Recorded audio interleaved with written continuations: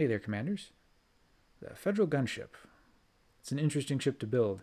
It offers a ton of advantages, but it also offers a ton of disadvantages that are uh, a little bit hard to work with. If you get into one of these things, you have to be willing to be a patient flyer because it's not very fast and it turns like crap. It steers like some of the large ships, actually. Even with FA off, it's a beast to get her on target, but once you do, you can absolutely hammer things into the ground with the hardpoint setup that it gives you.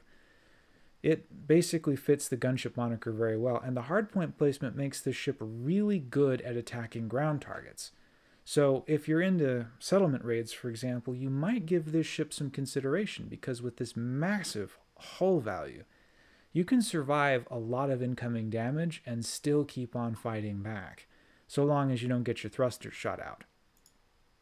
Now, I'm going to go over this in pretty rapid fire so we can keep things brief. Reactive surface composites come highly recommended in basically any kind of PvE engagement. If you do use reactive surface on this ship, since it's going to be big and slow no matter what you do, you might as well lean into it with heavy duty grade 5 and deep plating. The 6A power plant should be armored grade 5 and monstered. The 6A thrusters should be dirty grade 5 with drag drives. That'll help you feel a little bit better on the turn rates, but not by terribly much. At 417 meters per second, you can be outrun by just about everything else with 30 drives in the medium class. So I wouldn't recommend trying to start a PvP fight in this ship with, uh, well, basically any hardpoint loadout. There are a few absolutely clutch PvPers who are willing to attempt this, but most players probably aren't up to it. I know I'm not. I wouldn't win a PvP fight in this ship. There's just no way. I'm not that good. Uh, 5A frameshift drive, increased range grade 5 and mass manager if you prefer to travel and don't own a fleet carrier. If you do have a fleet carrier, then you might as well shield this thing and lean into that thick armor because you're not going to be able to avoid a lot of incoming fire in this beast. 5A life support. I recommend reinforced grade 5 because the uh, well, you're not avoiding fire, and the cockpit canopy on this is pretty easy to shoot out, even incidental to PvE engagements. So you'll want to have plenty of time to get to a nearby station because, again, big and slow. 7A power distributor. This is the major strength the Federal gunship brings to the table. This is the same distributor you'll find in a lot of large ships. It gives you a ton of headroom for hard points. You can run a lot of crazy stuff in here, which I've elected not to because of the way the shields are set up, and I'll get into that in a second. But with the 7A distributor, you'll want to run the typical charge enhanced grade 5 with super conduits. The 5A sensors are long range because that's the typical choice in most PvE ships. Uh, 6C biweave shield generator. Thermal resistant grade 5. This is to balance the shield's resistances. And then low draw because biweave shield generators suck a lot of distributor power and they can be really abusive to manage. If you aren't willing to uh, deal with that, low draw helps make your pip management a lot less of a stress. You can forget about your distributor for short periods of time without running out of shield regen. A 6D fighter hangar for PvE is highly recommended because it basically gives you an extra hard point to lay into something with. Um, some federal gunships in PvP will run the fighter hangar to kind of abuse the netcode a little bit and help them get away. Um, if you try to do any kind of tournament PvP, they'll probably make you take this out. If you don't want to run a fighter hangar or deal with a fighter pilot, a shield cell bank can fit in here, and if you do that, then probably a 6A shield generator is your best bet since you've got a heat sink launcher over here to manage the output. 5D hull reinforcement package. Uh, basically, all of the hull reinforcement packages larger than a 4 are heavy duty grade 5 and deep plating. That gets the absolute values up nice and high while keeping the resistance values balanced until you get down here to the size 2 where I have one kinetic resistant grade 5 and one thermal resistant grade 5 each with the experimental that amplifies the primary effect. So in uh, thermal resistance case, it's reflective plating, and in kinetic resistance case, it's angled plating. That sacrifices some explosive protection, but it maximizes your kinetic and thermal, and it gives you a ton of headroom to survive being out with your shields down because this shield setup is designed to recover as quickly as possible. You'll note shield recovery on this platform is about 30 seconds with an additional 45 seconds to recover your shields. That means roughly every minute 20, minute 30, you're getting 100% of your shields back if you avoid incoming damage. And that means that you don't have to take as long a break between fights, so you can keep right on going until your hull eventually runs out. Now, this hardpoint setup is something that I've covered on smaller ships. It's every commander's bread and butter multi cannons and pulse lasers. Very low distributor intensity as weapon outfitting goes. But if you feel so inclined and want to experiment, you can toss plasma accelerators, railguns, other high draw weapons like beam lasers fit in here just fine because that distributor gives you a ton of room to play. Now, I choose not to play like that with this build because I want to go for something that's easy to get into so that people who fly this platform don't feel obliged to throw a ton of engineering at it right at first. Uh, this has a bunch of engineering blueprints on it, but you don't need them all. This is a conservative enough build that you'll be able to run most of this with minimal engineering, if any at all. So if you want to get into the Federal Gunship on the cheap and experiment and then maybe toss some blueprints at it, this is a good way to do it.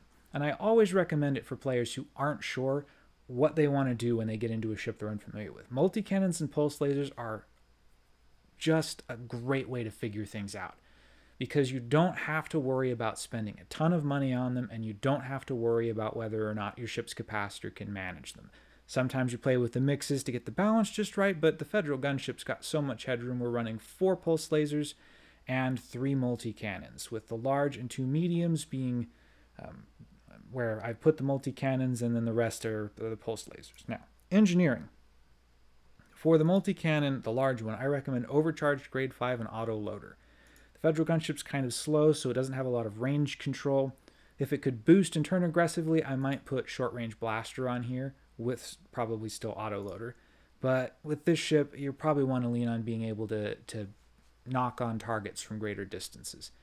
Uh, multi-cannon number two is high capacity grade 5 with corrosive shell. This helps kind of recover some combat endurance because the uh, multi-cannon running corrosive shell will run out first if you don't have it set up with high capacity. That gimps a lot of your uh, outgoing damage. Since none of the multi-cannons have a piercing value high enough to damage most of the large ships if you happen to encounter one, uh, you'll take significant debuffs to your damage output if you aren't using corrosive shell. Uh, overcharged grade 5 and auto loader for the last multi cannon. It's a nice balanced mix. Toss whatever you want here though if you feel like playing. Multi cannons, uh, I don't recommend running anything with uh, rapid fire. I've experimented with it on other ships, and the multi cannons combat endurance is already kind of an issue if you try to do any long term bounty hunting. Um, overcharged balances things out. It, it it's a solid place to start. But these other things are viable too. If you've got a particular strategy in mind, feel free to play. Uh, multi cannons. First medium is running rapid fire phasing sequence, as is the second medium. This uh, basically makes phasing sequence do the most damage it possibly can, so you can do a little bit of chipping away at the hull. The uh, first small pulse laser is running rapid fire emissive, and the second small pulse layer is running rapid pulse laser is running rapid fire scramble spectrum. Uh, emissive munitions prevents a PVE ship from dropping off your radar if they pop a heat sink, and rapid fire scramble spectrum randomly disables an internal module every time you get a, a hull hit with a time delay. So get a hull hit, it lasts like 10 seconds, there's a cooldown, and then after the cooldown expires, the next tick of scramble spectrum will cause another random internal to malfunction. It's a good way to mess with people in PvP. There are some PvPers who will throw a if they've got a small hardpoint available, they'll throw something like this at it. Uh, utility mounts. Shield booster number one, A rated, kinetic resistant grade 5 with force block. Shield booster number two, thermal resistant grade 5 with thermal block. This helps balance out the shield resistances and gets you into the uh, mid 40s on explosive and kinetic and the mid 50s on thermal, which is a good idea because NPCs will favor thermal damage when they're attacking your shields. And incidentally, uh, this logic works in PvP too because the two principal weapons, plasma accelerators and railguns, deal a ton of thermal damage incidental to what they do. Uh, chaff launcher to jam incoming gimbaled weapon fire up. Ammo capacity grade 1, since long PvE fights tend to require a lot of these charges. It helps improve synthesis efficiency if you go that way, or if you don't, it helps you last longer between trips to the nearest station and or fleet carrier. Heatsink launcher, ammo capacity grade 1 for basically the same reasons. You could replace this with a point defense if you were worried about missiles with your shields down. I'm not that worried about it on a ship like this. You do have to keep in mind, though, that missiles, even fired by bots, do a ton of external module damage, and in a protected fight, you might see some of these hardpoints start to malfunction. If that becomes an issue the way that you play, then you can replace one of your hull reinforcements with an AFM. That kind of helps things out in PvE. Uh, not all of my bounty hunting ships do that, but it is a way to, to make things work out. Now keep in mind that your fighter hangar is a great way to divide incoming fire. If you're going up against multiple hostile NPCs at the same time, the fighter hangar will help pull them off. If you get familiar with quick keys to give your fighter orders in combat, you can have your fighter switch between different targets so that the target giving you the most aggression could potentially be pulled away from you while you attack something else. There's all kinds of fun things you can do to play with in there. Uh, let's see, is there anything else? Budget. This is 175.8 uh, million credits to get going, and that's just for the cost of the materials. Engineering obviously takes longer. Uh, and the, one of the perks of setting the ship up this way is you've got extra power headroom on the reactor, which means that in the event you get your shields dropped and the reactor starts to malfunction, you're less likely to have power management issues. I don't think I've done a video on power management, so I'm going to go ahead and add that to the queue because there's a lot you can do with power management to make your ship more survivable.